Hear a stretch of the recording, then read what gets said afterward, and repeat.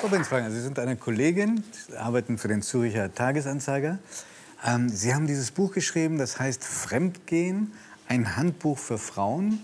Haben Sie das getan, weil Sie das Gefühl haben, Frauen gehen zu wenig fremd?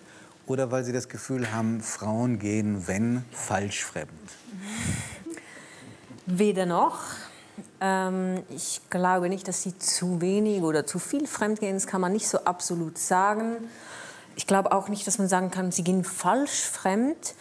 Aber äh, von fremdgehenden Männern hört und liest man ja immer wieder, Bill Clinton, Tiger Woods und so weiter, die lassen sich halt erwischen. Frauen gehen auch fremd, das weiß jeder ähm, aus seinem Freundeskreis und so weiter, aber man hört viel weniger davon, man liest nicht die Geschichten davon, man weiß irgendwie wenig darüber. Und da habe ich mir gesagt, ja, da möchte ich mal rausfinden, wie das denn so ist. Und äh, es war auch erstaunlich leicht, eben Frauen zu finden, die bereit waren, mir ihre Geschichten zu erzählen. Was haben Sie gelernt? Weil das Ding heißt ja Handbuch. Handbuch heißt ja, ich kriege nützliche Ratschläge auch. Mhm. Also was ich persönlich gelernt mhm. habe. Hier. Darf ich? Bei meiner Recherche mal.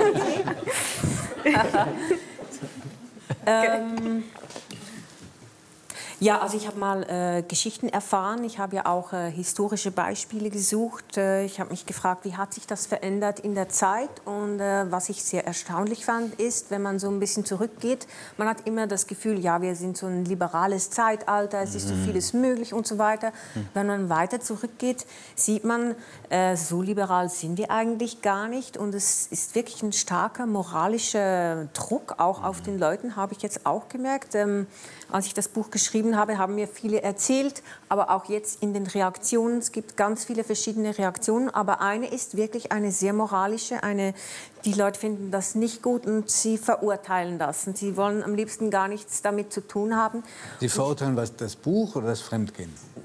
Das Fremdgehen und auch, dass man ein Buch darüber schreibt, weil die Leute dann natürlich denken, ja, die will da animieren zum Fremdgehen. Ich will Sie über, also überhaupt nicht meine Absicht, da Sie in die Defensive zu drängen. Ich will einfach nur wissen, was in diesem Buch steht und was Sie herausgefunden haben. Sie zitieren da zum Beispiel einen Experten, der sagt, ähm, die Liebe ist monogam, der Mensch leider nicht. Ähm, heißt das, dass im Prinzip jeder gerne fremd geht oder das Bedürfnis hat, fremd zu gehen? Ja, ich denke, dass wir ähm, weder eine monogame Spezies sind, noch sind wir eine polygame Spezies. Es gibt wirklich diesen Grundkonflikt, dass nämlich wer liebt, eigentlich oft das Bedürfnis, ist auch nicht bei allen so, aber die meisten haben, wenn sie lieben, den Anspruch, dass die Person, die sie lieben, exklusiv nur sich auf sie einlässt. Und gleichzeitig, das kennen wir alle, verändert sich die Liebe auch, wenn man ähm, von der romantischen Liebe oder vom Verliebtsein zur romantischen Liebe, zur wirklich tiefen Liebe, Liebe verändert sich und mit dieser Veränderung verändert sich dann auch eben die Lust oder das Interesse an anderen Leuten. Und ich glaube, da ist der Grundkonflikt, dass man einerseits eben liebt, einer Person äh, treu sein will, für die da sein will, die Vertrauensperson dieser, dieses Partners sein und gleichzeitig ist der Mensch auch immer interessiert an Neuem, lässt sich gern verlocken, gerade im äh, Zusammenhang mit Alkohol zum Beispiel gibt es dann, dann halt auch den einen oder anderen Seitensprung. Und ist das, Sie sagen, Sie gehen ja in Ihrem Buch, so wie ich es verstanden habe, noch viel, viel weiter. Sie sagen, das Problem ist, krampfhaft an einem Treuegelübde oder Treueprinzip festzuhalten, auch wenn es einem viel besser tun würde, dem Bedürfnis nach einem Seitensprung nachzugeben. Nee, ich würde nicht sagen, dass ich das so behaupte im Buch. Also die Voraussetzung, das ist ja nicht ein Buch über offene Beziehungen oder ähm, Polyamorie. Das sind ja die Leute, das ist ja so eine Szene und das sind die Leute, die sagen, wir wollen das offen leben, wir wollen eben keine ja. monogame Zweierbeziehung. Und mein Buch ist eigentlich eher ähm, eben, dass es die meisten Leute den Anspruch haben, monogam zu sein und sehr viele an diesem Anspruch mhm. scheitern und aus diesem Anspruch und aus diesem Festhalten an diesem Treueideal und auch eben das moralisch, die moralische Verurteilung, wenn jemand an diesem Treueideal scheitert, die ganze Schmerz, der da mitkommt, ist auch nicht in allen Kulturen gleich, auch nicht bei allen Leuten gleich. Aber was alles da mitkommt, das macht oft die Beziehung kaputt, dass man eben nicht sagt, ja, kann passieren, äh, schauen wir uns das mal an, was ist da eigentlich passiert und das als als Herausforderung begreift und sagt, das kann man auch, das muss nicht gleich auseinandergehen, sondern dass die Leute sagen, ich hatte gerade ein Interview irgendwie diese Woche, da hat der Moderator gesagt, ja, ist ja ganz klar. Also wenn jemand fremd geht, dann ist die Beziehung zu Ende und zwar für immer und ewig und da würde ich keinen, da würde ich gar nichts dran rütteln lassen. Und so denken viele, das war jetzt auch ein sehr junger Mann, das verändert sich vielleicht auch ähm, im Laufe des war Lebens. Du, du holst gerade Luft? Luft? Ich habe Luft? Ja, oder hast du nur geschnappt? Nein, ich, immer, ich, ich zucke immer, wenn ich alter Mann höre. Ach so. Also, Nein, oder junger Mann. junger Mann. Junger, junger Mann. Ach, da war ich gar nicht Interessant, dass du schon verstanden. Aber das ist ein interessanter Punkt mit der, mit der Libertinage, dass wir tatsächlich heute, dass wir wirklich der festen, festen Überzeugung sind, wir würden in einem total lockeren Zeitalter leben. Und ich glaube auch nicht, dass das der Fall ist. Ich habe jetzt äh, durch Zufall bin ich an das Buch geraten von Angelika Schrobsdorf. Äh, äh, du bist anders als andere Mütter. Da beschreibt sie ihre Mutter Else, die als junge Frau in den 20er Jahren feststellt, oh, ihre große Liebe betrügt sie. Unsere Reaktion heutzutage darauf, oh, ich werde betrogen, wahrscheinlich muss ich zum Therapeuten und mal mit dem ordentlich quatschen. Die Else, so, so heißt die Mutter von Angelika Schrubsdorf, deren Reaktion ist darauf, okay, der betrügt mich, kann ich auch.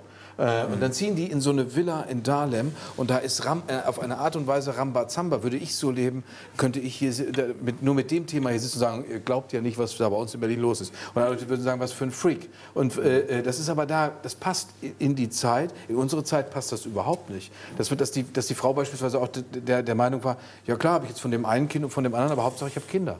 Äh, äh, wenn ich das heute so äußern würde, selbst in meinem absolut, angeblich so liberalen Freundeskreis, würden Leute sagen, ja, das ist ja ein bisschen skandalös, geht ja nicht. Deswegen bin ich da komplett ihrer Meinung. Sie führt ähm, auch viele Beispiele ein, wann, seit wann diese, dieses Gebot der Treue überhaupt Mode geworden ist. Dass früher Menschen offenbar in ganz anderen Zusammenhängen gelebt haben oder eben nicht zusammenhängen. Aber ähm, etwas, wo, glaube ich, hier alle sich schon eigene Gedanken gemacht haben, ob aus Erfahrung oder weil sie um einen Rat gebeten worden sind, wenn es schon mal passiert, wo Sie sagen im Buch, äh, man muss es hinnehmen, es ist nicht das Ende der Welt und der Beziehung, sind Sie dann für das darüber reden, dass man es dem Partner sagt, oder sind Sie für eisernes Schweigen? Was, wenn, äh, wenn ein Seitensprung äh, passiert ist, ob man es gestehen mhm. soll oder nicht gestehen soll? Bevor ja. Sie antworten, ich habe gerade gehört hier von rechts von Frau Wenemuth, bloß nicht. Nein, will ich nicht. Nein, Sie würden es nicht sagen? Nein. Und Sie würden es auch nicht hören wollen?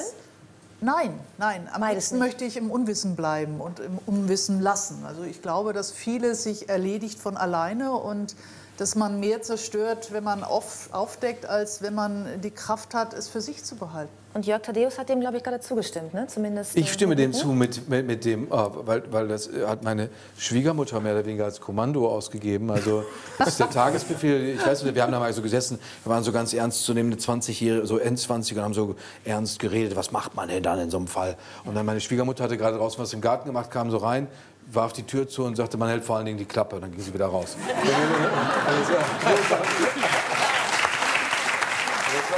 Katja, schweigen oder reden? Äh, das hängt an, was zwei Menschen einander sagen. Das heißt, wenn ich denke, Ehrlichkeit ist besser. Aber wenn eine Person sagt, ich will das nicht wissen, dann natürlich ist es besser, dass man nichts sagt. Aber ich denke, es ist besser, wenn es gibt einen Dialog, weil ich denke, es ist schon kompliziert, äh, einen fremden Mensch zu treffen im Leben. Und wenn man einen fremden Mensch trifft und wir entscheiden zum Beispiel zusammen etwas zu machen, es wäre besser, dass es gibt äh, Respekt und äh, Ehrlichkeit. Aber das hängt dann von Natur es, natürlich. Aber wenn es nun mal passiert, jetzt müssen wir die, die letzte Antwort, muss es unsere Autorin jetzt... Ist, wir sind Menschen, es kann passieren und ich denke, äh, es ist nicht etwas Kriminelles und man muss verstellbar sein und dann entscheiden, geht man weiter oder nicht. Das ist was andere, andere Frage. Dann. Reden oder nicht reden? Ja, es ist bei diesem Thema äh, ist es eben so, dass es eigentlich keine generellen Antworten gibt. Es war auch so, dass äh, viele der Frauen, mit denen ich geredet haben, habe, das am Schluss von selber gestanden haben, weil sie nämlich, also entweder weil, der Partner, weil irgendwie dann was komisch war in der Beziehung oder weil sie gemerkt haben, ich bin ja eigentlich fremdgegangen, weil ich eine Veränderung wollte. Und irgendwie jetzt, wenn das schon so komisch wird, so jetzt halt mal auf den Tisch mit dem. Und dann haben sie, dann haben sie ihre Veränderung gekriegt. Ich glaube, man kann das nicht generell beantworten. Es kommt auch immer darauf an, wo man steht, wo der andere steht und wie und warum das eigentlich passiert ist. Hätten wir noch eine zweite Sendung, dann würde ich noch ein Argument mit Ihnen wahnsinnig gerne vertiefen. Und das ist, glaube ich, für uns Männer besonders bedrohlich. Sie sagen, Frauen sind sehr viel geschickter beim Fremdgehen oh. als Männer. beunruhigend. Tut mir leid, dass ich Ihnen diese Nachricht, diese Nachricht, beunruhigende Nachricht, Jörg Thaddeus sagt, schon Nacht mitgeben muss. Ich bedanke mich sehr herzlich bei dieser großartigen Runde.